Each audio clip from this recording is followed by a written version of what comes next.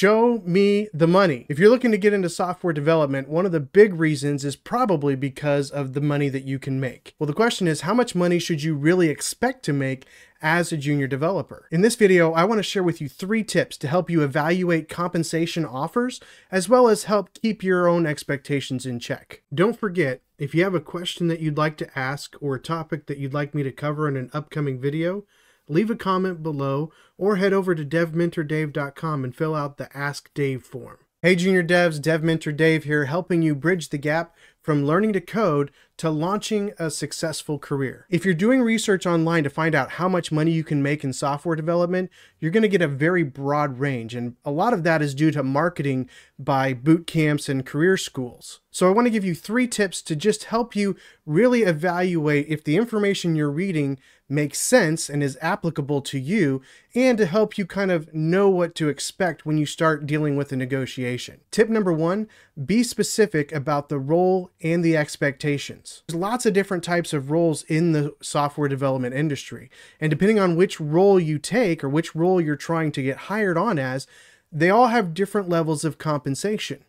So a DevOps engineer will get a certain amount of money, whereas a web developer would get a different amount of money, and a designer would get a different amount of money, and so on and so forth. And there's lots of different options out there, lots of different avenues to go down in the development world. So as you're doing research on something like glassdoor.com or some other website that's going to give you an idea of what salary range you should be in, you want to make sure that you're looking for exactly the right role and expectations. So if you're coming in as a junior developer, you want to make sure that it's very clear the types of roles that you're looking for are for a junior developer. If you've been doing development for a while, you'll probably be looking for a mid-level developer role. Or if if you've been doing it for a long time like me, I'm not sure why you're watching this video, but you'd be looking for obviously a senior level developer role. So be specific about the role and the expectations that you're looking for. Tip number two, validate the compensation based on your location. Now, this may sound obvious,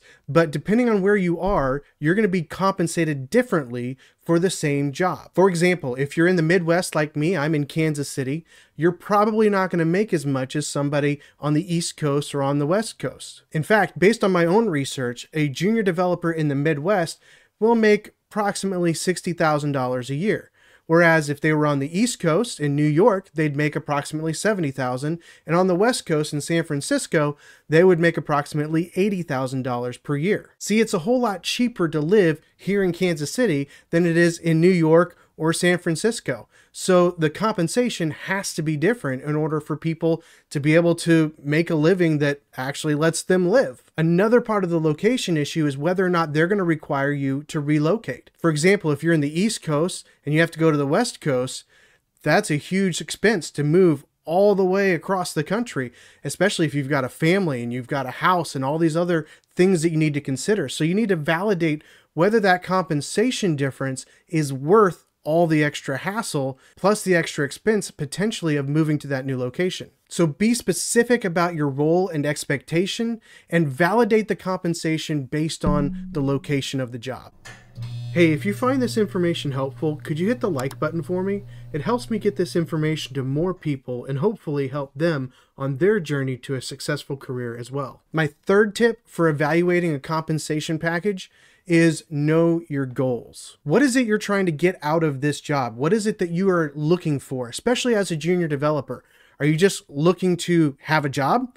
Well, then you're probably going to be okay with most compensation packages as long as it meets whatever needs that you have. But maybe you have other goals like making sure that you have mentoring in place at your job and and if they don't have quite as much mentoring but they have really high compensation, is it worth it to you to not get the mentoring to have the higher compensation? Are there opportunities for career advancement? Do you know what that looks like? How quickly they expect you to progress to a mid level and to a senior level developer, and what kind of pay increases come with that? And then what kind of stability are you looking for in this job? Is it working for a small business? Is it working for a startup? More than likely there's a good chance that that startup or that small business is going to go under at some point. That's just the nature of the beast, unfortunately. So you need to know your goals. And you need to make sure that the compensation package that you're looking at actually fits with a company that's going to meet the goals that you're looking to achieve in your career. So what kind of money can you realistically make?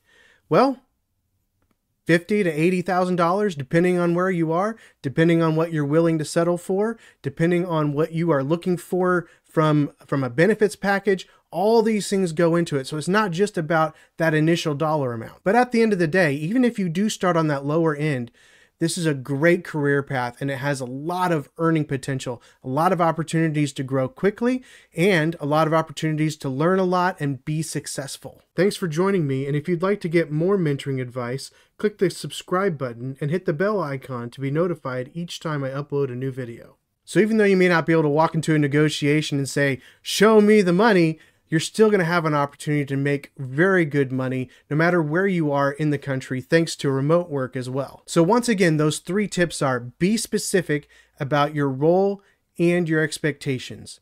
Validate the compensation based on your location and know your goals. Hopefully this is helpful to you on your journey as a junior developer.